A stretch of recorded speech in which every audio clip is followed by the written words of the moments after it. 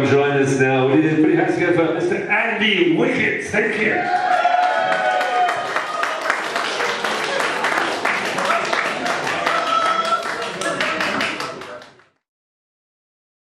Thank you.